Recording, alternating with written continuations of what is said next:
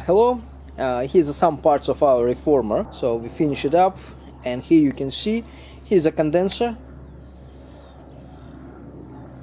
and um, here's another tube like a condensing tube for the gases to escape to equalize the pressure so no pressure build up here's a condenser itself uh, itself and there's a here's a first stage of condensation and it's the liquid form of the diesel distillate is actually running through this tube as well into the final condenser here's a liquid lock so it prevents gases to escape from the bottom. Here's a upper part, so it's actual column.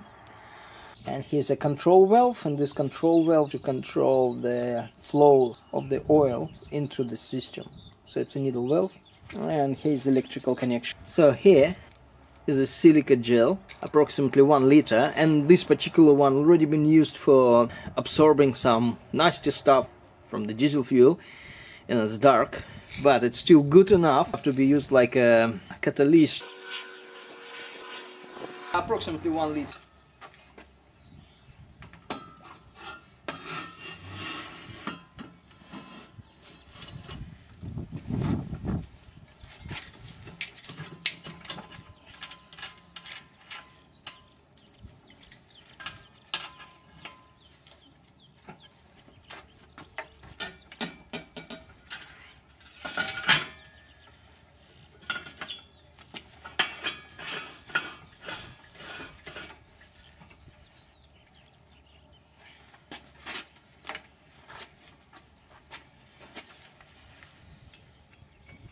it's done technically this is it so to open it up so the whole assembly of the system will take just seconds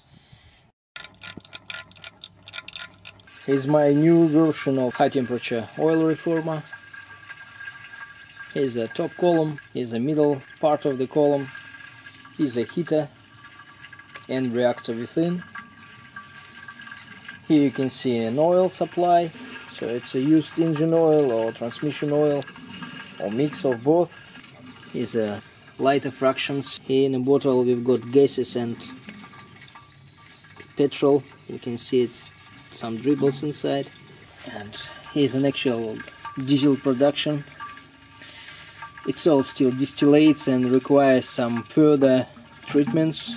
You cannot uh, use it straight like that. You need to settle it over the catalyst or absorbent or something to absorb all the dirt and uh, polymers and everything from this fuel. Otherwise, there's a possibility to produce uh, diesel, kerosene and uh, petrol out of used engine oil and the oil that's supplied into this uh, machine is supposed to be clean. I mean no mechanical particles, uh, it's better to run it through the uh, centrifuge or something like that to avoid any water inside. Here's a production. I need to replace the container. Okay, and uh, here's the temperature. We're running it at almost 400 degrees Celsius right now. One more time. Here's a kerosene running out of machine.